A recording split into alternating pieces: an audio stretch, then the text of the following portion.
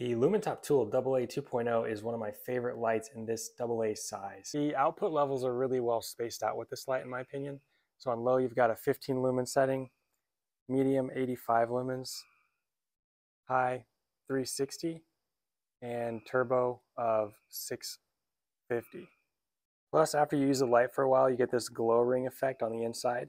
Lumintop scores even more style points by including an illuminated tail switch as well and what my favorite accessory included with this light is a glow diffuser. This, in combination with the fact that the Lumintop Tool AA 2.0 can tail stand, makes this a nice little mini lantern option if you need area light.